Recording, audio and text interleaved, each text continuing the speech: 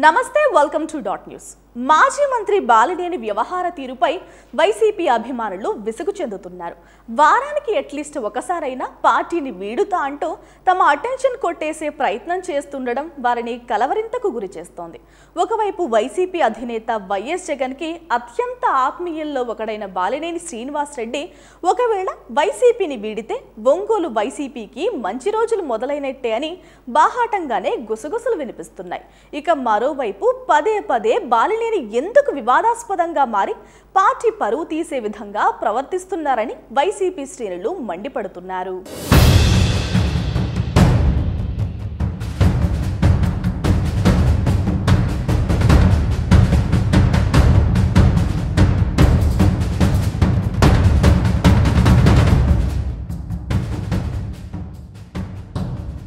బాలినేని శ్రీనివాస్ రెడ్డికి వైసీపీ పార్టీలో జరిగిన అవమానం ఏంటని పార్టీ వర్గాలు సూటిగా ప్రశ్నిస్తున్నాయి. ఇటీవల జరిగిన ఎన్నికల్లో ఓటమి పాలైన వైసీపీకి అండగా ఉండాల్సింది పోయి మరింత నీరుగార్చే విధంగా బాలినేని మారుతున్నాడు అని జగన్ అభిమానులు వాపోతున్నారు. ఇదిలా ఉండగా ఒంగోలులోని తమ వైసీపీ కార్పొరేటర్లు తన ముఖ్య అనుచరులతో హైదరాబాద్లోని తన నివాసంలో బాలినేని భేటీ అయ్యారు. దీంతో బాలినేనితో రాయబారం జరపడానికి మాజీ మంత్రి విడతల రజనీతో పాటు సతీష్ రెడ్డిని పార్టీ అధినేత వైఎస్ జగన్ రంగంలోకి దింపారని హైదరాబాద్లోని బాలినేని నివాసంలో ఆయనతో వారిద్దరూ చర్చలు జరుపుతున్నారని తెలుస్తోంది.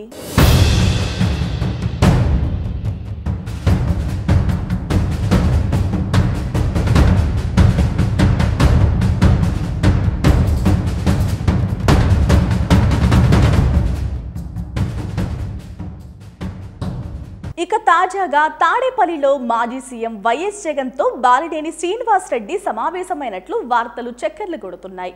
ప్రకాశం జిల్లా అధ్యక్షునిగా బాధ్యతలు చేపట్టాలంటూ బాలినేనిని వైఎస్ జగన్ కోరగా అందుకు ఆయన తిరస్కరించినట్లు తెలుస్తోంది. ఈ సందర్భంగా పార్టీ అధికారంలో ఉండగా తనను పక్కన పెట్టిన తీరును జగన్ ముందు బాలినేని ఉంచినట్లు సమాచారం. గతంలో పక్కన పెట్టి పార్టీకి ప్రతిపక్ష హోదా సైతం దక్కించుకోలేని వేళ తనకు జిల్లా అధ్యక్ష బాధ్యతలు ఎలా అప్పగిస్తారంటూ తన అసంతృప్తిని మాజీ సీఎం వైఎస్ జగన్ ఎదుట బాలినేని వెళ్ళగక్కినట్లు సమాచారం. పార్టీ వీడాలని తాను కృత నిశ్చయంతో ఉన్నట్లు ఈ భేటీలో వైఎస్ జగన్ ఎదుట బాలినేని కుండబద్దలు కొట్టారని ఓ ప్రచారం సైతం ఉమ్మడి ప్రకాశం జిల్లాలో జోరుగా సాగుతోంది. ఈ నేపథ్యంలో విడతల రజనీతో పాటు సతీష్ రెడ్డిని బాలినేనితో చర్చించేందుకు రాయబారానికి పంపారనే టాక్ వినిపిస్తోంది.